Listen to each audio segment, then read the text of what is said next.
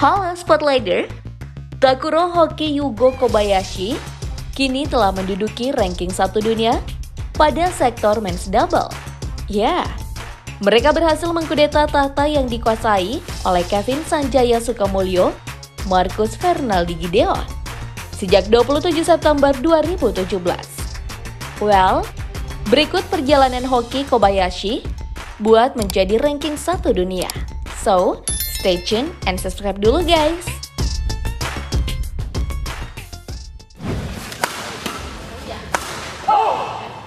Perjalanan hoki Kobayashi dimulai pada tahun 2013 Spotlighter.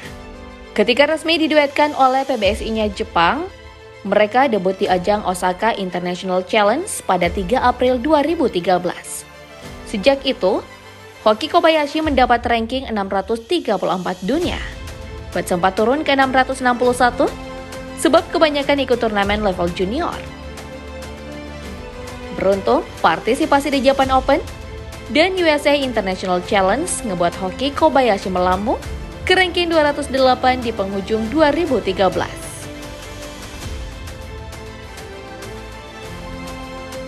Berlanjut ke tahun 2014 Spotlighter, ranking dunia hoki Kobayashi bagaikan roller coaster, even udah ngikutin di Japan Open dan menjuara USA International Challenge.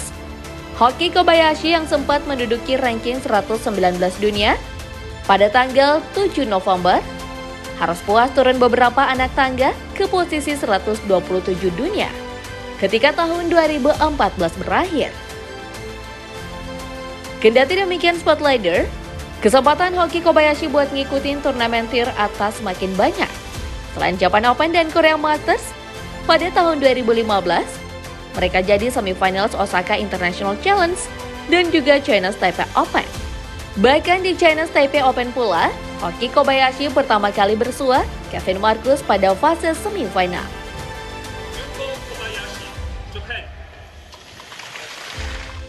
Namun saya, mereka kalah rubber game atas Minions. Namun ranking dunia hoki Kobayashi melonjak drastis ke posisi 65 di akhir tahun. Selepas puasa gelar selama setahun Spotlighter, Hoki Kobayashi akhirnya ngangkat piala lagi di Spanish International Challenge 2016 yang ditambah runner-up di pagelaran US Open. Event keok lagi dari Kevin Marcus di fase quarter final China Open Hoki Kobayashi bertengger di ranking 19 dunia pada akhir tahun 2016. Lantaran udah sering ambil bagian pada turnamen kelas wahid BWF, which is Korea Open, Denmark Open, French Open, China Open, Hong Kong Open, hingga Thomas Cup. Sepanjang tahun 2017, performa Hoki Kobayashi agak menurun spotlighter.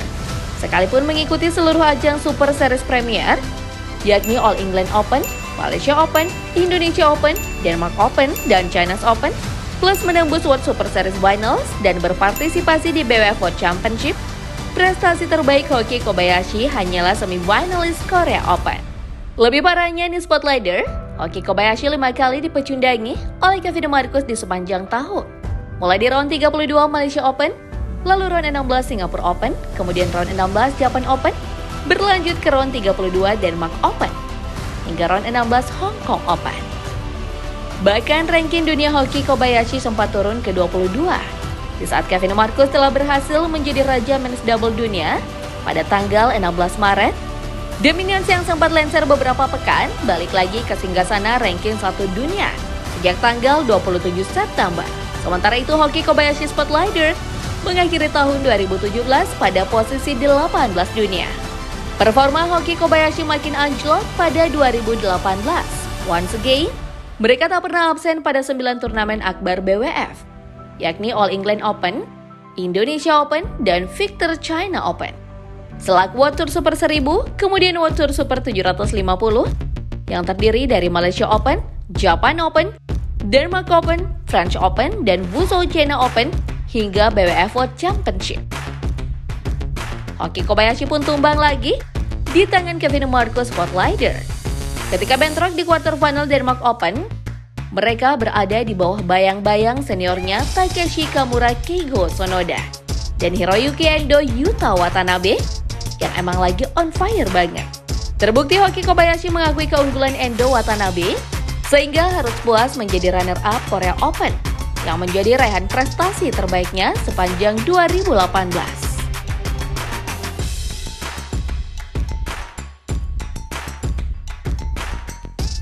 Well, Hoki Kobayashi masih struggle buat nemuin performa terbaiknya Spotlighter.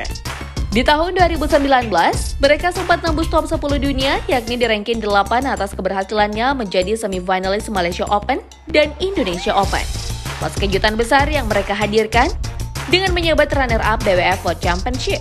Unfortunately, Hoki Kobayashi justru tampil mengecewakan pada 15 turnamen BWF lainnya. Termasuk dua kali dikalahkan oleh Minion pada round 16 Japan Open dan the first round China Open.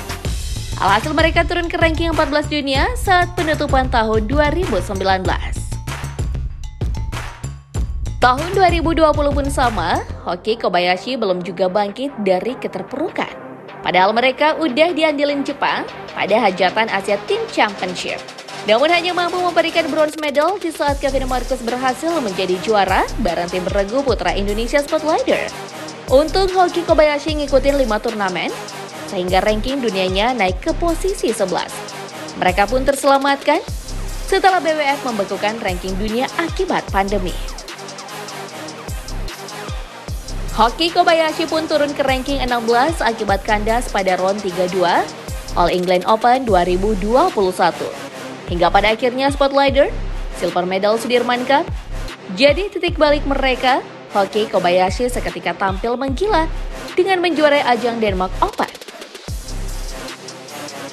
Mereka bahkan sukses memberi kekalahan perdana buat Kevin Marcus di final Indonesia Masters pasca tumbang 10 kali berturut-turut. Minion sebenarnya bisa ngebalas langsung pada laga puncak Indonesia Open, but Hoki Kobayashi menang lagi di final BWF World Tour Spotlighter. And then, keputusan mengejutkan PBSI yang dari seluruh pebulu tangkis Indonesia di turnamen akbar BWF World Championship. Gak disia-siain oleh Hoki Kobayashi dan mereka pun keluar sebagai juara. That's why mereka langsung menembus ranking 4 dunia di akhir tahun 2021. Keputusan BWF buat ngehitung ulang perolehan poin table ranking dunia lantaran agak sedikit rancu pasca pandemi COVID-19 sehingga banyak turnamen batal. Pas anjloknya performa dari Kevin Marcus, ngebuat Hoki Kobayashi kian mendekat spotlighter. Di saat Minion sering absen ngikutin turnamen men's double nomor satu Jepang ini, malah panen gelar sepanjang tahun ini. Hoki Kobayashi emang gagal total pada tiga turnamen awalnya, namun selepas membawa tim putra Jepang kerai bronze medal di ajang Thomas Cup, mereka ngegeser Liang Wang Chilin di ranking 3 dunia pada 19 Mei. Bahkan sepekan berselang spotlighter, Giliran Hendra Setiawan Muhammad Asan yang digeser dan ranking 2 pada 24 Mei, pasca berhasil menjuarai Talent Open dengan ngelahin Fajar Rian di final. Kobayashi kembali mempecundangi Fajri di laga puncak Malaysia Open Spotlighter. Steven gak pernah ngeraih juara lagi pada tiga turnamen berturut-turut, yakni Malaysia Masters, World Championship, dan Japan Open. Namun poin Hoki Kobayashi udah lebih dari cukup buat ngegeser Kevin Marcus dari ranking satu dunia. Ya, pertanggal 20 September 2021, Minions yang telah menguasai tahta men's double sejak 27 September 2017 kini harus rela dikudeta oleh Hoki Kobayashi. Congratulations Hoki Kobayashi and don't the set Minions bring back your crowd.